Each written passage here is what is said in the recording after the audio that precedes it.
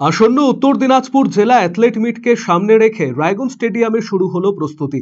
উত্তর দিনাজপুর জেলা ক্রীড়া সংস্থার পরিচালনায় শনিবার অনূর্ধ্ব চোদ্দ ও ষোলো পুরুষ ও মহিলা অ্যাথলেটদের রেজিস্ট্রেশন পুনর্নবীকরণ ও দলবদল কর্মসূচি অনুষ্ঠিত হয়। এই কর্মসূচিতে যথাযথ সাড়া মেলে। এদিন সংবাদ মাধ্যমের মুখোমুখি হন জেলা ক্রীড়া সংস্থার সাধারণ সম্পাদক সুদীপ বিশ্বাস। তিনি বলেন, আগামী তিরিশ এবং একত্রিশে জানুয়ারি অনুষ্ঠিত হবে উত্তর দিনাজপুর জেলা অ্যাথলেট মিট। এই কর্মসূচিকে সুষ্ঠুভাবে সম্পন্ন করতে জেলার সমস্ত ক্লাব ও ইচ্ছুক স্কুলগুলিকে আহ্বান জানানো হয়েছে। শনিবার অনূর্ধ্ব চোদ্দ ও ষোলো পুরুষ ও মহিলা অ্যাথলেটদের রেজিস্ট্রেশন পুনর্নবীকরণ ও দলবদল কর্মসূচি অনুষ্ঠিত হলো।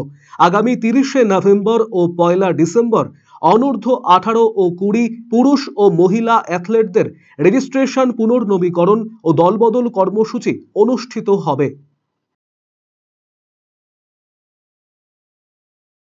আমাদের উত্তর দিনাজপুর ডিস্ট্রিক্ট অ্যাথলেট মিট আগামী জানুয়ারি মাসের তিরিশ এবং একত্রিশ তারিখ রায়গঞ্জ স্টেডিয়ামে অনুষ্ঠিত হবে। সেই ডিস্ট্রিক্ট অ্যাথলেট মিট সাফল্যের সঙ্গে আয়োজন করবার লক্ষ্যে আমরা জেলার সমস্ত ক্লাব এবং যে সমস্ত স্কুল ইচ্ছুক আছে এই মিটে পার্টিসিপেট করতে, তাদের আমরা আহ্বান করেছিলাম যে অ্যাথলেটদের রেজিস্ট্রেশন, রিনুয়াল এবং দলবদল কর্মসূচিতে পার্টিসিপেট করবার জন্য।